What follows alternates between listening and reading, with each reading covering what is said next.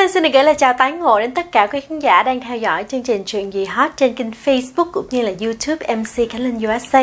Nếu quý vị là khán giả mới, xin mời quý vị cùng subscribe cũng như là bấm vào cái chuông để khi mà Khánh Linh có những video mới thì YouTube sẽ à, thông báo đến cho quý vị nhé. Chúc quý vị một ngày cuối tuần thật là vui vẻ và nhiều hạnh phúc.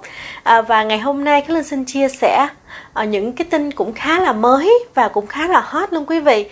Đó là những cha mẹ nào mà đang có con nhỏ và cần phải uống sữa bột, quý vị sữa formula đó, sữa công thức đó thì à, đang có rất là nhiều à, cái sự thiếu hụt về sữa và nhiều cha mẹ phải đi tìm thì không tránh được những người đã bị lừa đảo rồi À, và bên cạnh đó thì một tin tức về một người đàn ông Việt bị bắt vì buôn bán tài sản đánh cắp của người khác và chuyển đi đến những đất nước khác bán lại đó quý vị.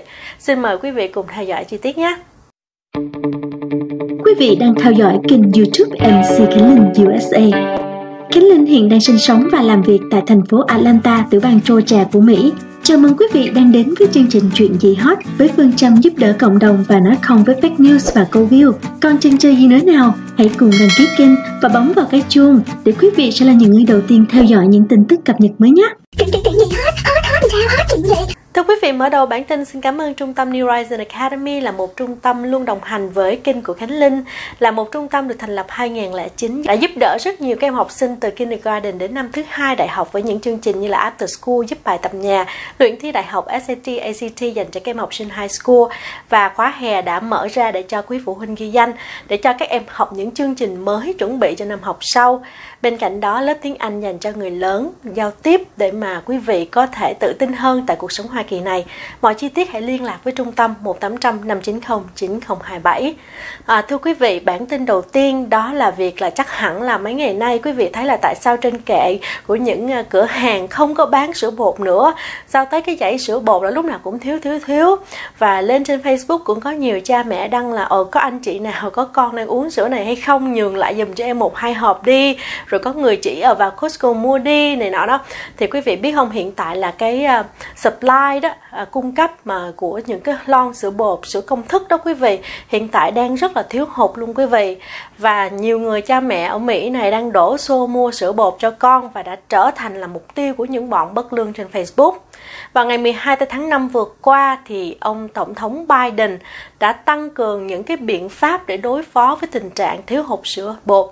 À, và ông cũng đã có những cuộc thảo luận với những công ty làm sữa như là công ty Gerber, công ty Reckitt để hỗ trợ tăng cái năng lượng sản xuất sữa bột ra nữa và đề nghị luôn là à, những cái công ty như là Target nè, Walmart nè à, bổ sung thêm hàng hóa trên kệ để người dân có thể mua.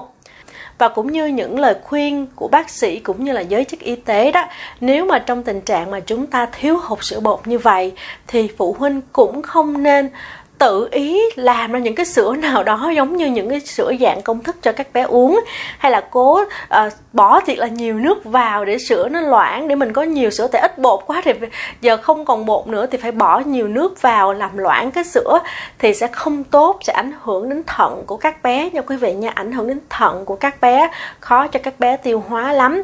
Cho nên quý phụ huynh đừng nên làm như vậy nhé và cái Linh biết là sữa bột, quý vị, là trẻ từ khi mới sinh ra, newborn, cho đến 12 tháng là chúng ta cần phải uống sữa bột. Sau đó thì chúng ta có thể cho các bé uống những cái sữa tươi hay là sữa gì đó tùy, quý vị hay là cũng có thể sữa bột mà dạng cho những đứa trẻ toddler, không còn là infant nữa đó, quý vị.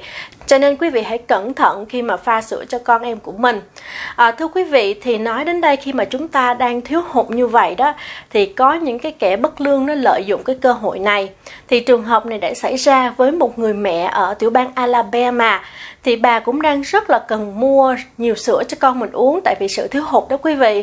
Và bà mẹ này cũng lên trên Facebook thấy người ta rao bán sữa mà cái loại mà con bà uống ở trên Facebook và thấy để hình rất là hấp dẫn giống như kêu gọi mời mua này nọ đó quý vị. Nói là à, tôi cũng còn dư nè tôi bán lại cho này nọ đó quý vị phải không? Và bà đã cuối cùng đã chuyển tiền 300 đô la để mua 6 lon sữa thôi quý vị. Wow, sữa nhưng mà đổi giá lên tới gần 50 đồng một lon đó quý vị. Đó, nhưng mà bà cũng mua, bà cũng trả tiền qua PayPal đó quý vị thì đến cuối tháng 4 cho đến thời điểm này là gần 3 tuần rồi quý vị, mà bà mẹ này vẫn chưa nhận được những lon sữa mà tiền đã gửi đi rồi. Cho nên bây giờ một cách nữa là bà chỉ biết là liên lạc với lại công ty PayPal cũng như là công ty credit card của bà để tìm cách giải quyết để lấy lại số tiền đó cho bà. Quý vị thấy không? Hãy cẩn thận quý vị nha. Thế lên được biết là có nhiều trường hợp bị lừa đảo, bị lừa gạt ở trên Facebook rất rất là nhiều rồi quý vị. Quý vị hãy cẩn thận nhé và bản tin tiếp theo liên quan đến người Việt của mình, đó là một người đàn ông gốc Việt bị bắt vì buôn bán tài sản lấy cắp. Ở tại thành phố San Francisco, quý vị, một quán trà sữa tên là Quickly ở con phố là Tenderloin là một cái bình phong cho cái hoạt động mà buôn bán những cái đồ mà đã ăn cắp. Và những cái tên trộm này ăn cắp về xong rồi bán lại cho cái người chủ thì cái người mà chủ của cái tiệm Quickly này là người vợ. Còn người chồng thì không biết là có cổ phần hay là có đứng tên trên cái tiệm đó hay không. Nhưng mà cái tiệm này là cái hình thức là cái bình phong để là nơi mà bán những cái đồ mà đã ăn trộm đó quý vị. Và những cái đồ này là những cái đồ mà thường ăn trộm, nó hăng cấp trên những cái xe. Tại quý vị biết ở San Francisco rồi rất là dễ bị đập kiến xe để mà lấy đồ đúng không quý vị? Ai ở San Francisco thì biết. Cho nên nó ăn trộm những cái đồ như là laptop nè rồi à, à, những cái đồ máy tính cell phone hay những cái gì lặt vặt trên xe mà có thể bán được quý vị. Đó thì nó lấy xong nó bán nó, nó lấy xong rồi nó ăn cắp xong rồi thì nó bán lại cho cái người chủ này. Thì hai vợ chồng đều bị bắt quý vị sau một cuộc điều tra có quy mô rất lớn. Người vợ thì không bị buộc tội và cuộc điều tra đã dẫn đến bắt giữ ông Quốc Ông này ông tên là Lê Quốc quý vị là 44 tuổi. Và cái chiến dịch này cảnh sát gọi là autopilot có nghĩa là sao? Có nghĩa là cảnh sát dùng những chiếc xe làm mồi để nhử à, những cái thằng ăn trộm ăn cắp đó quý vị rồi gắn theo những cái thiết bị theo dõi của cảnh sát giám sát bí mật và thu hồi à, những cái máy tính laptop cell phone camera vân vân những cái mà lặt vặt ở trên xe mà người ta hay để quên á. Hay là như khi mình vô mình ăn mình để đồ trên xe con mình quên đem theo đó thì nó đập cửa xe rồi nó lấy đó quý vị. Và ông bị bắt và bị buộc 8 tội danh sở hữu tài sản bị cắp và những cái hàng này được đưa đến tiệm trà sữa rồi chuyển đi khắp nơi trên thế giới như là châu Âu, châu Á, Việt Nam, China cũng có luôn nha quý vị nha. Và ông này cũng đã từng được tại ngoại trong cái vụ án 2019 liên quan đến tài sản ăn cắp và vẫn đang chờ xử lý. Và số hàng mà tịch thu được thì lên tới 100.000 đô la đó quý vị. Và cảnh sát hiện tại là đang xem xét những cái món hàng này để trả lại cho chủ nhân. Thưa quý vị, và cảnh sát cũng cho biết rằng là mỗi năm có khoảng 20.000 vụ án bị ăn cắp đồ ở trong xe như vậy đó quý vị, nhưng chỉ có 1% bị bắt giữ mà thôi, quá ít đúng không quý vị? Quý vị nhớ nha, cẩn thận củi lửa nha quý vị, đặc biệt là thời kỳ lạm phát như vậy, trộm cướp đang rất là hoành hành.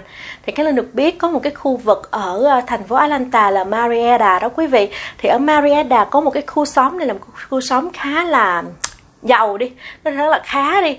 Thì ăn trộm đã viếng khoảng hơn 10 nhà trong khu phố đó rồi quý vị có một người thì cho biết là sau khi ăn trộm viếng nhà của người hàng xóm anh ta phải lắp cả 10 cái camera quý vị. Mà camera mà dạng mà nói được luôn á doorbell mà dạng nói được rồi camera nào cũng nói được hết. Thì tình cờ anh ta à, thấy được cái người ăn trộm đó vào buổi tối đi vào nhà anh ta lục đồ này ngoài sân đó quý vị. Thì anh ta mới nói qua cái camera đó thì ăn trộm sợ quá mới bỏ đi quý vị ơi cho nên Khánh Linh nghĩ là cách hay nhất chúng ta không nên để tiền mặt ở nhà. Những cái đồ mà chúng ta mua sắm ở nhà chúng ta nhớ giữ lại những receipt khi ăn trộm mà nó vào nó lấy thì chúng ta có thể claim với bảo hiểm để bảo hiểm đền lại cho chúng ta quý vị nhé. À, còn mà giống như những ai mà hơi sợ sệt đó buổi tối mấy tôi đang ngủ nó vô nó giết tôi nó lấy đồ rồi sao? Thưa quý vị Khánh Linh nghĩ có một cách này rất là hay nè quý vị. Quý vị biết là cái uh, remote của cái xe của quý vị không? Cái remote mà bấm xe mở cửa xe của quý vị đó. Khi mà chúng ta nghe những tiếng động rục rịch gì đó trong nhà chúng ta là chúng ta có thể bấm ngay cái nút alarm á cái nút alarm mà trên cái remote xe của chúng ta đó để xe chúng ta nó vang hú hú hú, hú. thì lúc đó nhiều người mà có tật thì sẽ giật mình thôi đúng không quý vị? À, thì hàng xóm nó nghe cái gì mà à, ở lam kêu quá thì nó cũng sẽ tỉnh dậy để nó coi có chuyện gì xảy ra có phải ở lam xe của nhà người ta hay không hay như thế nào đó. Thì đó có nghĩa là làm như vậy thì có thể ăn trộm nó cũng sẽ giật mình và nó cũng sẽ bỏ chạy ha. Thì mình cũng thoát nạn được cái phần nào đó quý vị. Cái linh nghĩ cách đó cũng hay quý vị nên làm như vậy nha quý vị nha cảm ơn quý vị đã theo dõi kênh cảm ơn quý vị đã ủng hộ Khánh Linh trong suốt thời gian vừa qua. Khánh Linh có một kênh số 2 đó là Cô Giáo Linh Cuộc Sống Mỹ. Xin mời quý vị cũng cùng subscribe kênh và like, share cho mọi người cùng theo dõi nhé. À, còn bây giờ xin chào và hẹn gặp lại quý vị trong chương trình kỳ sau. Hello, xin chào các bạn. Hôm nay mình xin chia sẻ vấn đề học hành của ờ, thằng bé nhà mình. Hôm nay bé thì ờ, uh, 12 tuổi. Thời gian qua thì uh, bé uh, học thì cũng trung bình. Nhưng mà mình cũng uh, tìm hiểu trên mạng rồi mình thấy được những cái cái, cái trung tâm uh, đào tạo online New Horizon. Cho nên mình đi thử cho bé học uh, online. Thì uh, buổi đầu thì mình cũng uh, băn khoăn. Cho nên mình không biết dạy kết quả như thế nào. Nhưng mà sau khi cho bé học thử uh, một tháng thì mình thấy kết quả nó khá hơn. Thì uh, bây giờ thì uh, sau 3 tháng thì kết quả học tập của bé trong trường thì cũng đạt uh, rất là tốt. Cho nên mình cũng xin chia sẻ với các bạn là trung tâm đào tạo online đào tạo từ xa New Horizon xin các bạn hãy liên hệ với trung tâm đào tạo New Horizon cảm ơn các bạn. Tôi cần phải biết thêm tiếng Anh để mình có thể giao tiếp dễ dàng hơn.